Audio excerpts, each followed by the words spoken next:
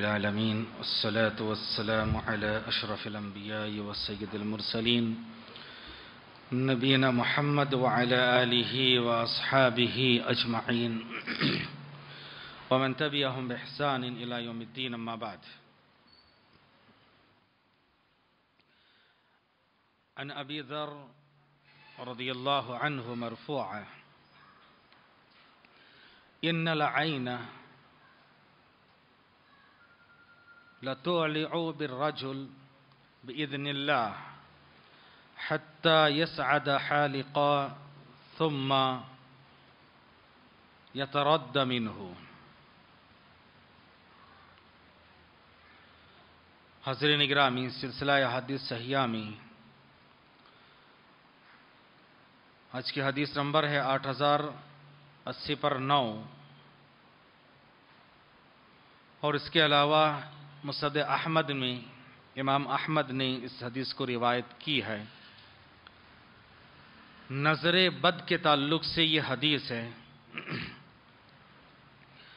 रावी हदीस हज़रत अबू ज़र गफ़ारी रदी अल्लाह तहु फरमाते हैं कि प्यारे नबी सल्लल्लाहु अलैहि वसल्लम ने इरशाद फरमाया, बेशक नज़र बद आदमी को अल्लाह के हुक्म से दीवाना कर देती है। हत्ता के बसा अवकात ऐसे होता है कि ऊँची जगह पर चढ़, चढ़ता हुआ इंसान को गिरा देती है। नज़र बद इंसान को ऊँची जगह पर चढ़ते हुए देखकर उसको गिरा देती है। हजर निगरामी नज़र बद सही बुखारी की हदीस है नबी ने फरमाया अलआन हक़ुन नज़र बद बरहक है। नज़र बद बरहक है। नज़र का लगना ये हकीकत पर मबनी है। सही मुस्लिम की एक रिवायत में प्यार नबी सल्लल्लाहु अलैहि वसल्लम ने मजीद उसकी वजाहत फरमाते हुए कहा अलआन हक़ुन नज़र बद बरहक है। वलौका न शैन सबकल कदर सबकत हुलआन अगर कोई चीज़ तकदीर से भी आगे बढ़ जाती, अगर कोई चीज़ तकदीर पर भी सबकत ले जाती तो ये नज़र बद सबकत ले जाती।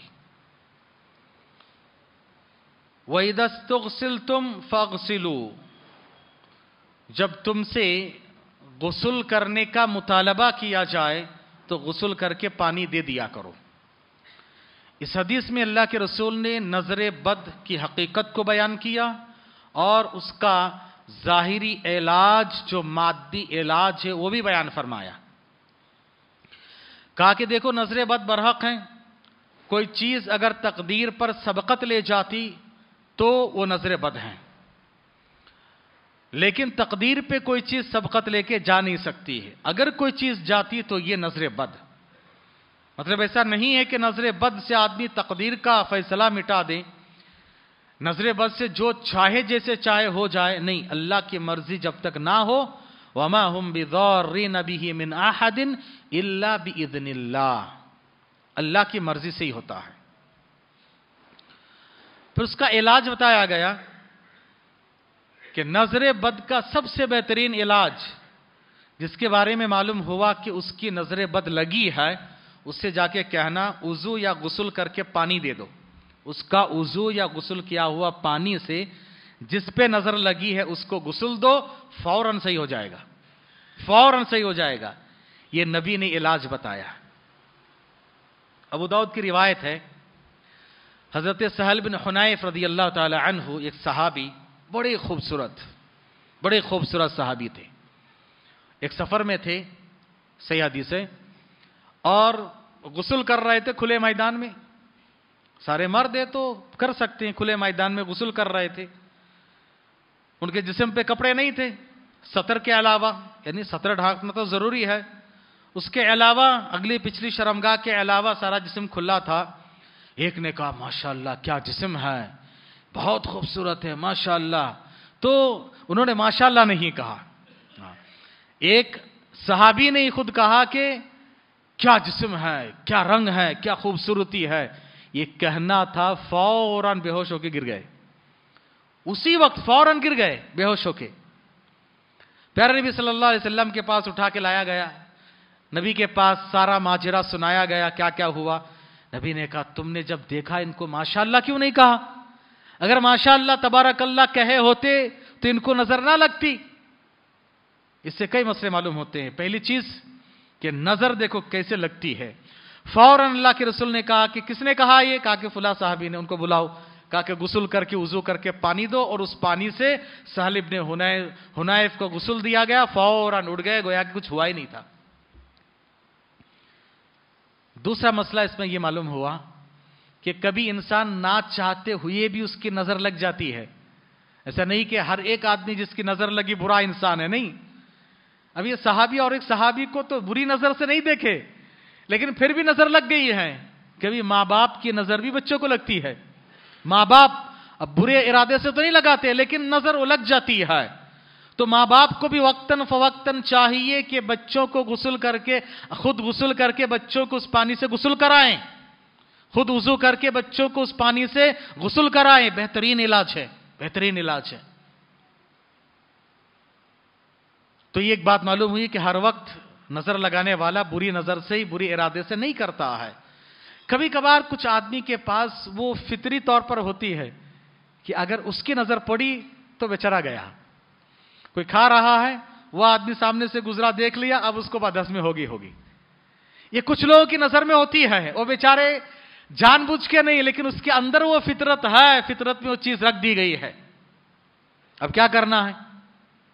इसीलिए ऐसे आदमी से अहल इल्म ने लिखा है कि ऐसे आदमी को चाहिए, आपको अपने दिल को कंट्रोल ना करें। आपको लगा आके बोली, भाई, मुझे भी थोड़ा दे दो, मांग के खा लो, ताकि आप भी महफूज रहें और वो बेचारे का पेट भी सही सलामत रहे। हाँ। तो ऐसा कर लें। और अगर आपसे गुसल का मुतालबा किया जाए तो आप बुरा ना माने। हमसे अगर कोई आप कहें हज़रत जरा गुसल करके पानी दे दीजिए। क्यों? मैं बुरा इंसान क्या मैं नज़र लगाने वाला। हम नबी ने कहा कि अगर किसी से पूछा जाए, ना चाहते हुए हो जाता है। वो साहबी देखो सहल इबन हुनैफ बेहोश होकर गिर गए। नबी ने कहा, गुसल करो, दे दिए।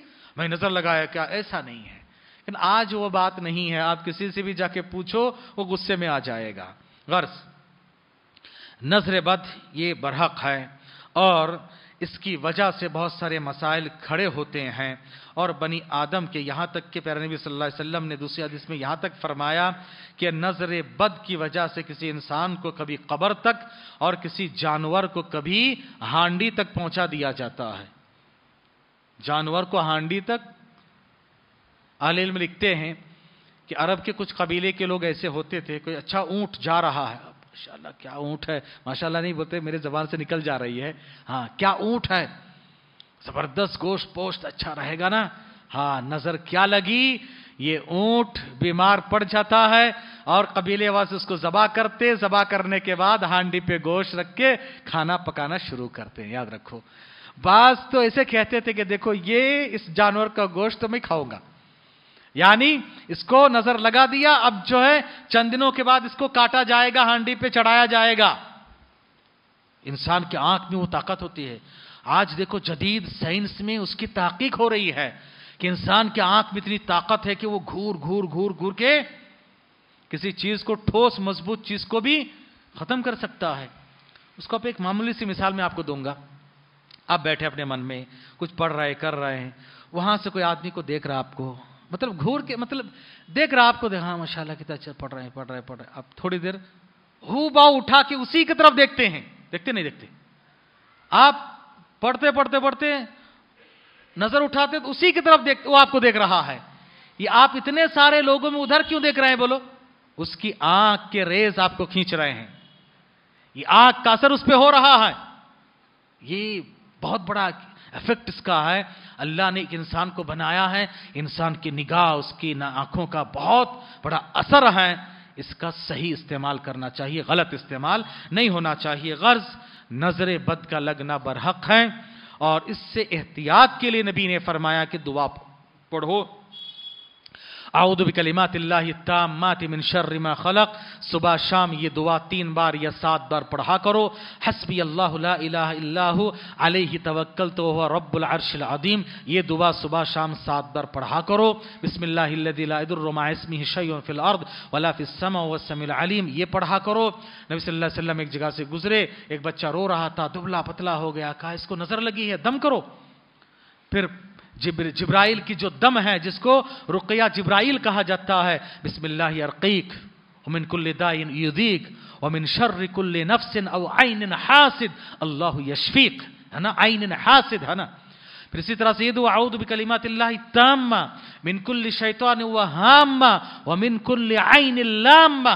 आइन देखो, आँख। इसका असर होता है। इन दुआओं को पढ़ के अपने बच्चों को दम किया कीजिए, खुद अपने ऊपर दम कर लिया कीजिए, क्योंकि ये असर होता है निगाह का आँख का, बड़ा फितना है, और नज़र बद का बुनियादी सबब है हसद। हसद, जलन, इसकी वजह से नज़र बद लगती है आमतौर से। और कभी कभार जैसे मैंने कहा कि ना चाहते हुए अच्छे लोगों की भी नज़र कभी लग जाती है तो इस से एहतियात करना चाहिए। माशाल्लाह तबारक अल्लाह ऐसी चीज़ कहें, दिल में आए इस चीज़ को कर लें, खा ले तो उसमें क्या हो जाएगा? इन अल्लाह ताला एहतियात, अल्लाह ताला बचा लेगा। तो रबालमीन से, अल्लाह तबारक ताला हमें और आपको नज़र बद से महफूज रखे। आमीन। सोन हमदिक अल्लाह